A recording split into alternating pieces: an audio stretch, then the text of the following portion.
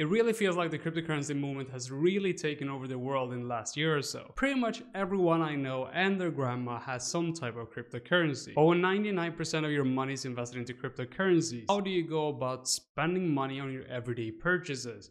Like actually getting food or paying for rent or everything else that you actually have to purchase. Well, luckily, plenty of different cryptocurrency cards have actually been released in the last year or so. But in today's video, we'll actually take a look at some of the more popular ones, which is the Crypto.com Visa card. Now, if you've been investing in cryptocurrencies for a while now, or even though you're just getting your toes wet, the Crypto.com Visa card could be a great choice for you as it offers a convenient as well as a safe way to just access and spend your cryptocurrencies in the physical world. The card also comes with some great benefits such as cashback, free airport lounge access, free ATM withdrawals, and even a private jet partnership if you do have $350,000 just laying around. Now, if you do want to sign up for a Crypto.com card, you can use my referral link in the description or the link in the description down below to get $25 for free when you do sign up and get your card approved. First of all, Crypto.com is like an all-in-one cryptocurrency platform.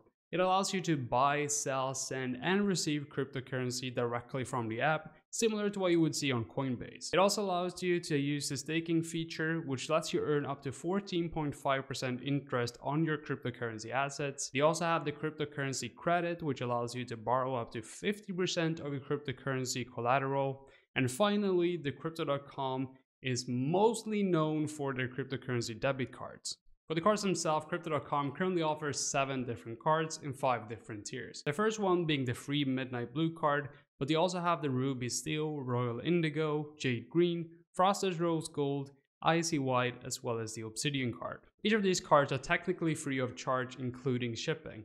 However, all the cards will require you to stake some CRO tokens except for the Midnight Blue one, which is completely free of charge and doesn't require you to stake any tokens. Now, if you're not super familiar with cryptocurrencies, you're probably asking yourself, what is staking and what are CRO tokens? Well, CRO tokens or Crypto.com coins is the native cryptocurrency used on the Crypto.com platform. And to apply for a card, applicants are essentially required to just lock up a set amount of CRO tokens in their Crypto.com account for a full six month period. Now, after the six month period, you're essentially allowed to do whatever you want with your CRO tokens. However, if you go below the required amount needed for your specific card that you applied for, your benefits as well as the cashback will also be reduced. In terms of the CRO tokens required, the Midnight Blue, as I said, is completely free of charge, but also comes with almost no benefits at all.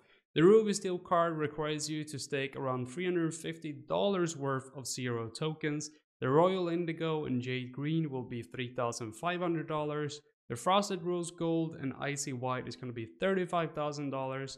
And lastly, the Obsidian card will require you to stake $350,000 worth of CRO tokens. And of course, the more CRO tokens you actually stake, the better card you can apply for and the more benefits and the better benefits you will get as well. Let's actually talk about the total cost of getting one of these cards and let's talk about Ruby Steel, which is going to be the most popular option on the Crypto.com platform. As mentioned, your upfront cost or investment in the card itself will actually be $350 worth of CRO tokens. But with that in mind, with the card itself, you'll also be getting a 2% cashback on all your purchases made with the card itself. So let's say, for example, you spend $1,000 a month on your card during a 12 month period and $1,000 a month is really going to be a low ball here. Some people might be spending 5,000, some people might be spending 10,000. It's really about like your monthly spending on your card. But let's say you spend $1,000 on your card a month for a 12 month period. That would mean that you would make around $250 worth of cashback throughout that 12 month period. On top of this, you'll also get 100% money reimbursement on your Spotify monthly subscription.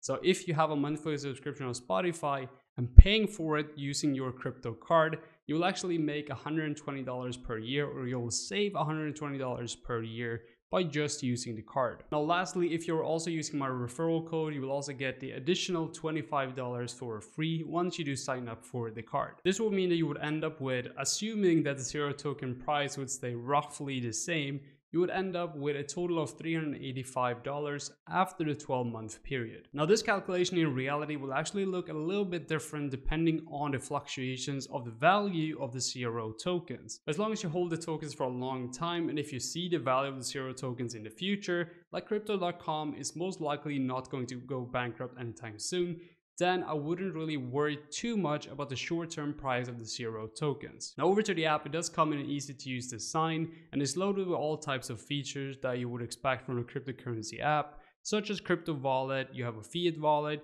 crypto tracker, you have the stake and the earn feature, as well as an overview of your Visa card as well. Now, once you start making purchases with your card, all your transactions will also be automatically added and show up in the app, including the cashback that will be added to your wallet as well. Now I found that the app is actually really easy to use and is great overall, especially the buying and selling process, which they've really narrowed down in this app and made it just as easy as it should be. Now in the app, you can just quickly make a cryptocurrency purchase or just top up your fiat wallet with your local currency and it just takes a couple of minutes if even that. Now as for the interest rate that you get from staking CRO tokens, it currently starts at a minimum of 5,000 tokens staked, which converges to around $1,800 total. Now the interest used to be a lot higher on crypto.com, but nowadays if you were to stake 5,000 CRO tokens or more, you will get around 10% APR interest paid daily. Now this interest rate is definitely nothing to brag about if you compare it to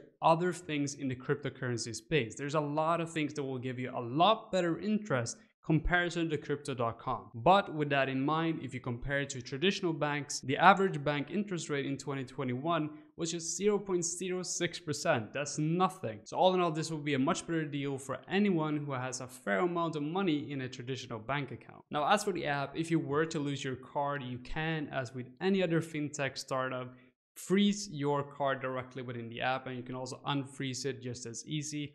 But specifically for crypto.com, something that I found interesting is that you can reset your PIN within the app. Now this is not something I've seen before, you usually have to request a new card. So that's a great feature. So if you ever forget your PIN or if someone wants to just steal your PIN, they can just reset it in the app and get a new one. Now jumping over to the fees on crypto.com, there's no annual, monthly, or delivery fee for the cards. ATM withdrawals are also free up to $400 with the Ruby Steel card, and this is also increased to $800 with the Royal Indigo or the Jade Green card. And finally, you'll be paying somewhat normal trading fees on all trading activity in the app with 0.4% maker fee and a 0.4% taker fee for users with a trading volume between 0 and $25,000 per 30 day period. These trading fees are of course also lowered as your trading volume increases or if you decide to pay for the trading fees with the app native CRO token. Now the only downside so far that I've experienced with the app itself is that it sends you way too many notifications. And I know this might seem very picky, but I currently receive around 10 different notifications a day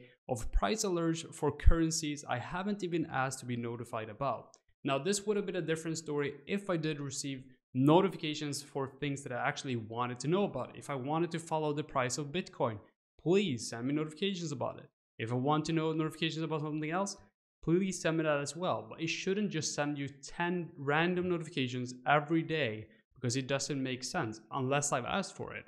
And of course, you can always mute all the notifications, but if you, in case you set up something that you actually want to track, you will not have that option because you will just get spammed anyway. So if someone at crypto.com is watching this video, please make sure fix your notifications because the app is just way too spammy at this point. Now, all in all, I would say that the crypto.com card as well as the app is definitely going to be worth it for anyone who is at least a little bit invested into cryptocurrencies and is actually looking for a convenient and a safe way to just spend and invest their cryptocurrencies in everyday purchases. Now, as for which card I would recommend you to get, I would by the very least get the Ruby Steel card. But if you're a bit more invested into cryptocurrencies, obviously the Royal Indigo or the Jade Green is gonna be a great option. But if you're heavily invested into cryptocurrencies or if you have somewhat above average savings, then obviously the Frosted Rose Gold or the Icy White or the Obsidian card will give you the most benefits overall for your money. And if you want to get any of the crypto.com cards, make sure you use my referral code or the link down in the description to get $25 for free when you do sign up for the card.